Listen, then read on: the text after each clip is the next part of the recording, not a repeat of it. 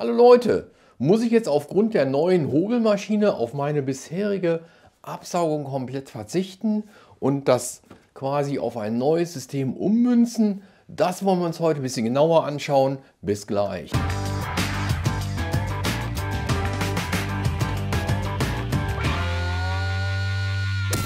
Die regelmäßigen Zuschauer kennen schon seit Jahren meine Bestandsabsauganlage, die ich mir vor etlichen Jahren mal selber gebaut habe, mit einem kleinen Kercher und einem ja, Zyklonabscheider hier auf der Rückseite.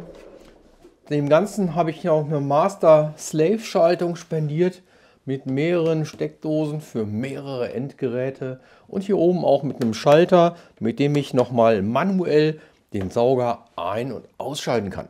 Jetzt haben wir natürlich die Situation, dass die gesamte Verrohrung in meiner Werkstatt auf 50 mm ausgelegt wurde. Das passt an der Tischkreissäge, das passt an der Oberfräse, das passt an der Bandsäge, die steht gerade da vorne. Das passt auch an meinem Tellerschleifer ohne Probleme. So, jetzt kommt die Hobelmaschine dazu und ja, 50 mm Schlauch ist da einfach zu gering, weil ich mit größeren Spänen arbeite und die Leitung ratzfatz verstopfen würde. Jetzt stellt sich die Frage, baue ich alles um auf 100 mm oder wie gehen wir damit um? Ja, und um das beantworten zu können, müssen wir uns eigentlich erstmal mit ein paar technischen Parametern auseinandersetzen und auf die äh, Feinheiten und die Unterschiede beider Systeme eingehen.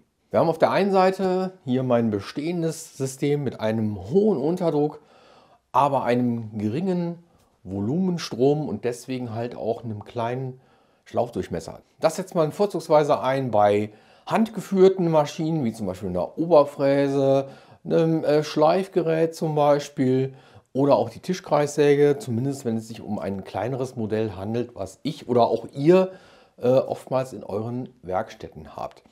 Ja, ich habe kleine Späne, die abtransportiert werden müssen. Auch die Geräte sind herstellerseitig eher mit kleinen Anschlüssen ausgestattet und ähm, damit kann man dann halt auch sehr zufriedenstellend arbeiten. Ja? Deswegen habe ich auch die gesamte Verrohrung bei mir auf 50 mm ausgelegt, weil ich damit bisher super gefahren bin und hatte da auch ja, bisher nie Probleme, dass es da irgendwie zu Verstopfungen oder sonstigen Problemen kam.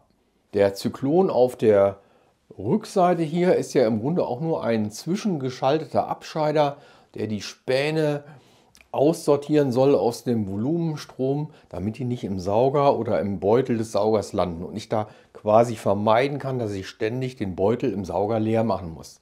Damit bin ich in der Vergangenheit sehr gut gefahren und im Normalfall würde ich da jetzt auch überhaupt keinen Grund sehen, um das anzupassen oder zu verändern.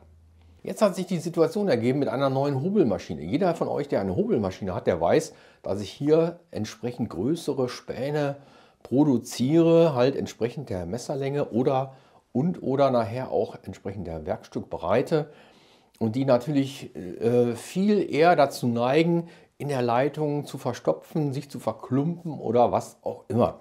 Und ganz ehrlich, ich habe keine Lust, mich irgendwo hier unter die Werkbank oder wo auch immer äh, äh, hinzulegen und da die Leitung öffnen zu müssen, wo ich am Ende noch gar nicht weiß, wo ist es genau zu und äh, da die Späne rausfriemeln muss. Also das muss eigentlich anders gehen. Das ist auch der Grund, warum ich jetzt hier auch in diesen zusätzlichen Sauger investiert habe. Das ist kein besonders großer, aber ich fände es gut, wenn ich den irgendwo ähm, schön verstauen könnte, wenn ich nicht brauche. Ansonsten sind die ja immer sehr groß und bauen hoch auf, wenn da oben noch eine Filterpatrone oder sonstiges drauf ist. Und im Gegensatz zu diesem Gerät hier arbeitet der Kollege jetzt hier mit einem niedrigen Unterdruck, mit einem großen Volumenstrom und dementsprechend natürlich auch einem größeren Durchmesser, in dem Fall 100 mm. Jetzt könnte natürlich der eine oder andere von euch sagen, Mensch Peter, dann schmeiß doch den alten raus, nimm nur noch den neuen und reduziere den hier mit einem Adapter auf die 50 mm, sodass du das bisherige System nutzen kannst und an einer Hobelmaschine kannst du dann mit 100 mm arbeiten und dann ist gut. Ja, das stimmt nur teilweise, weil mit den 100 mm kann ich an der Hobelmaschine tatsächlich arbeiten, aber das Runterreduzieren auf so einen kleinen, geringen Durchmesser ist eigentlich technisch nur sehr bedingt möglich, weil man in der Größenordnung bei der Reduzierung des Querschnittes schon davon ausgehen muss, dass der Volumenstrom abreißt und ich dann keinerlei Saugwirkung mehr habe. Dazu kommt natürlich noch ein wichtiger Aspekt. Bei den Maschinen, die halt mit dem kleinen Durchmesser arbeiten, habe ich mit kleinen Spänen zu tun und natürlich auch teilweise oder auch vermehrt mit Schleifstaub. Da will ich natürlich auch, dass der entsprechend sauber aufgesammelt wird und nicht wieder durch den Sauger zurück in die Werkstatt gepustet wird. Und so ein großer Sauger, der hat natürlich auch eine Filterpatrone, klar, aber ist eigentlich eher dafür ausgelegt, dass er die groben Späne auffängt.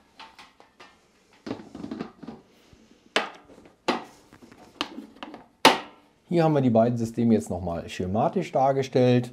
Einmal hier oben die Leitung mit dem großen Querschnitt, was also bedeutet, dass ich einen niedrigen Unterdruck habe, aber mit einem hohen oder großen Volumenstrom arbeite. Im Gegensatz dazu der Schlauch oder die Leitung mit dem geringen Durchmesser. Hier arbeite ich tendenziell mit einem hohen Unterdruck, aber nur mit einem geringen Volumenstrom.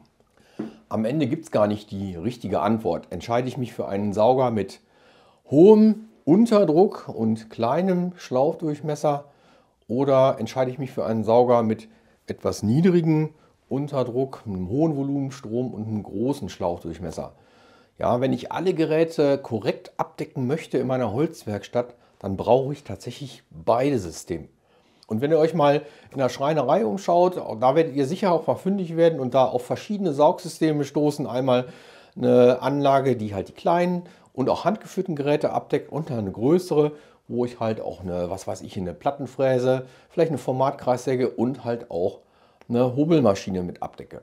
Leute, nur ein kleines Video heute. Ich wollte euch mal darlegen und kurz erklären, warum ich jetzt beide Systeme hier in der Werkstatt einsetze. Wundert euch also nicht, wenn ihr heute mal die und morgen die Absauganlage äh, im Video sehen werdet. Aber das hängt einfach mit den unterschiedlichen Anwendungsfällen zusammen. Ich wünsche euch eine schöne Woche, bleibt gesund. Wir sehen uns beim nächsten Mal. Tschüss und auf Wiedersehen.